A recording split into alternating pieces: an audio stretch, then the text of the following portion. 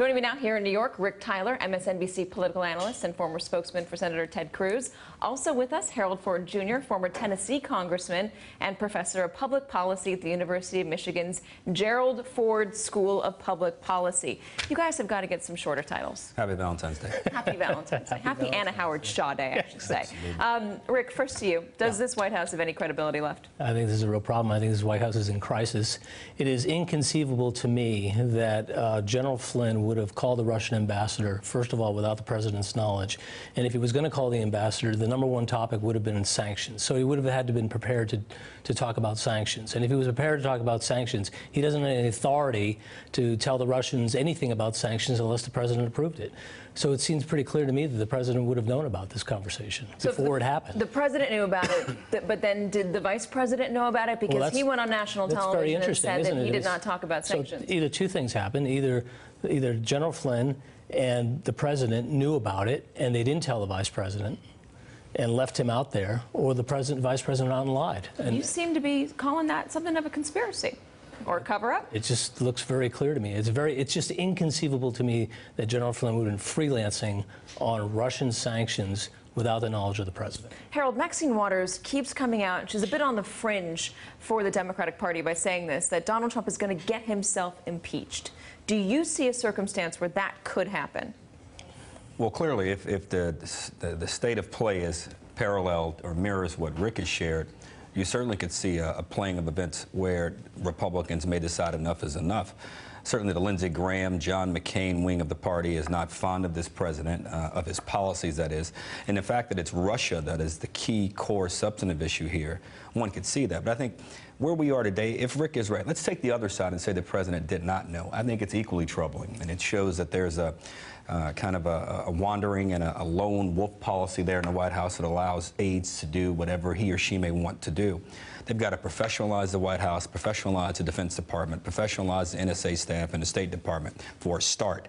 And if that doesn't happen over the next few weeks, you have to wonder if you're advising Xi in China, you're advising the North Korean leader or advising the Russian leader, which I'm not, you would have to be advising the three of them. Let's test this president, the new president of the United States. Let's test America because there seems to be disarray and disrepair in some of the important agencies. So either way you look at this thing, whether what Rick is saying is true, you take the exact opposite side, it's not a good picture for the White House, the Congress, or more importantly, the country. You both have deep ties to Washington. You obviously have conversations with people that are still working up there on Capitol Hill. What is the feeling behind the scenes, at least privately, about how this administration is going?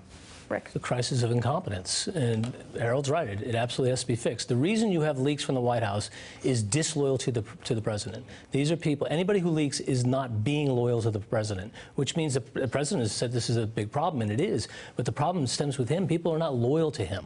What about Russia? I mean, uh, this is a bad analogy, but if somebody accuses you of cheating on your husband or your wife with someone else, you make every effort to keep yourself away from that person, to try and to try and separate yourself. I know it's terrible, Anna Howard Shaw Day, um, to try and separate yourself from that person, uh, and that's kind of what we see going on with Donald Trump and Russia.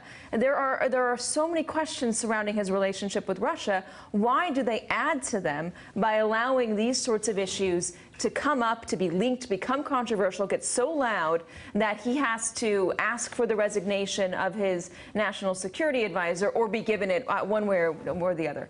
Well, that's the other thing is why wouldn't he not have allowed Reince Priebus to uh, to force resignation. That would have put Reince in charge. At least someone would have been, at least it would have been a chain of command. Right. As I understand it, as Spicer said today, that the president demanded it. And so where's, where is Reince Priebus, where's the chief of staff? The chief of staff seems moral authority, but with, with regard to Russia, the, the president has made the moral equivalence between Russia and the United States. That's never been our stand. And so I understand he wants to have better relationships with Russia, but there is no moral equivalency between the United States and Russia. I think it was Casey, and right before we came on, it said the White House had been aware of this for maybe two weeks. The two White and a half House, weeks. Two and a half weeks, the White House counsel's office. So you have to to take. Donald Trump has been aware of it for two and a half weeks. The counsel went immediately to Donald Trump and told him of this. Uh, and and so my question, I think you were getting at this, if the Washington Post didn't come out and report this news right. on Friday and then on Monday, uh, would the public have ever found out about it? Because they knew for two and a half weeks that it was an issue of trust between uh, General Flynn and the president. Uh, when is it an issue of trust between the White House and those that Donald Trump has around him and the general public? You answered the question. I, I don't think there's any doubt. We probably would have learned at some point because Sally Yates may have shared this at some point. But the fact that the White House, the president was away for two and a half weeks, and all of a sudden it reached a level where he couldn't, he didn't find it acceptable, or he found uh, Mr. Flynn's presence in the White House unacceptable for some reason. Why didn't that happen two and a half weeks ago? The, the reality is we'll get answers to some of these questions here in the next few weeks. Hey there, I'm Chris Hayes from MSNBC. Thanks for watching MSNBC on YouTube. If you want to keep up to date with the videos we're putting out, you can click subscribe just below me or click over on this list to see lots of other great videos.